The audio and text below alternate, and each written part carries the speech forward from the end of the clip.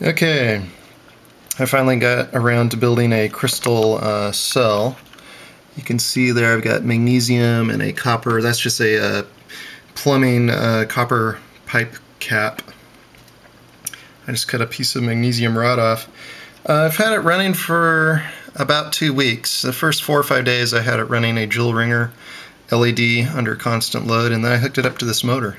It's been running this motor ever since and uh, I've got this uh, set up here with a webcam. You can actually uh, go to laserhacker.com and watch this stream uh, live on there. But I'm just going to let this run and see how long it goes. Um, so far I'm real impressed. Um, the speed has, has maintained its uh, speed right up there.